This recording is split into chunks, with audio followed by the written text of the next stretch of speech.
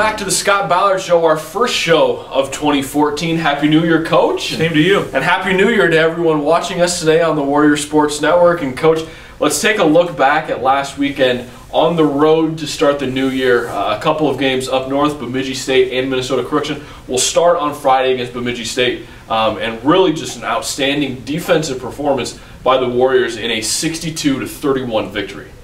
Uh, you know, it, you don't expect to have lopsided games like that in conference play, and um, so when it happens, it's you know you're kind of scratch your head. It's like how how did that happen? Um, it, it, it was a gradual, steady uh, performance by uh, our team.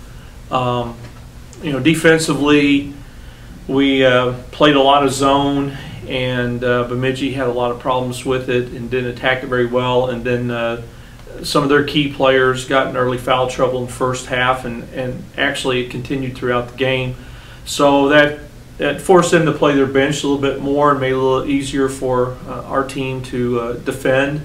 Um, you know, anytime uh, anytime you have some of your key people that are playing less than half of a game, uh, it, it, forces other people to have to try to beat you and do more than they're accustomed to doing. But uh, you know, it was a fun game because we were able to play everybody. Um, probably the the biggest downer of the night was that uh, uh, one of our freshmen, Callie Hackman, uh, injured an Achilles in pregame warmup. So you know, our depth has been hit with the loss of Jenny Tuttle and the knee injury on December 21st, and and now with Callie Hackman and her Achilles. So we're just hopeful it's not going to be a long-term thing and that we could get her back, you know, in a couple weeks. But um, it, it's an opportunity for other kids uh, to step up and uh, show that they can uh, play. And and then uh, the next night we played at Crookston, and and uh, we didn't play with the same energy that we did against Bemidji. And Crookston, even though they split with Bemidji during the season, uh, the last three four years they've been a tough matchup for us because they run a lot of four out one in. Uh, they're one of two teams in the league that have all five uh, starters averaging double figures.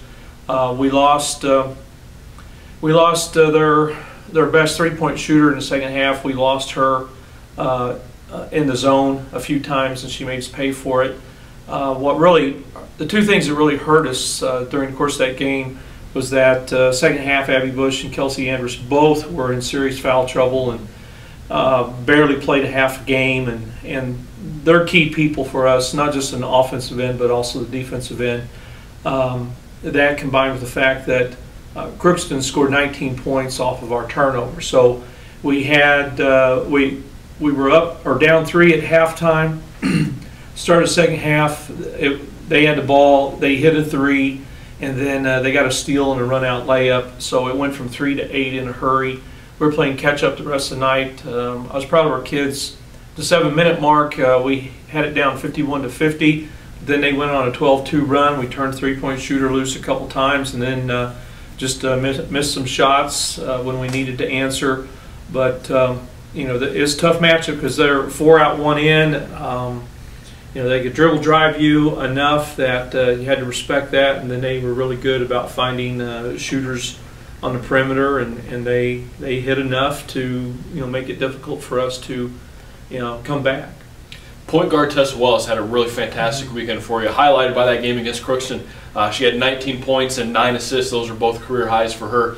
Um, someone who is, is really beginning to um, to play even better than she mm-hmm. normally does at that point guard position. Yeah, you know she's she's playing with confidence and uh, getting more aggressive and uh, doing a lot better job of decision making and picking her her spots where uh, it, it's time to to look to score and, and drive to the rim. Um, it's important for us uh, for Tessa to stay out of foul trouble as well because now that you know our, our backup point guard Jenny Tuttle's out for the rest of the year, that means Tessa has to play more minutes. It means that uh, Connor Nagle may have to spot play at the point some, as well as uh, uh, Allison Hawking. So um, at least we've got some time to start working in that direction, but uh, um, you know, Tessa's going to do the best job for us at the point guard, which should be expected from a senior. You mentioned Connor Nagle, someone who has really played well as of late. I think she's got double figure scoring in five of the last six games. Yeah. She's a player who's really come on as the season has progressed as well. Yeah, Connor's uh, improved a lot uh, since Thanksgiving, and she's gained a lot of confidence. Um, she's very active on the defensive end, and I haven't looked recently, but it wouldn't surprise me if she leads us in steals. Uh, she rebounds really well for her size, um, and and she's she's really uh, started to consistently knock down shots when when they leave her open. So. Uh, we're happy with the way that Connor's playing, and we, we need her to continue to do that. Well, she'll have a chance to continue to do that along with the rest of this Warrior team this weekend as the Warriors host the University of Mary on Friday night and Minot State on Saturday. Coach, we're going to get your thoughts on the upcoming weekend doubleheader later this week here on the Scott Ballard Show.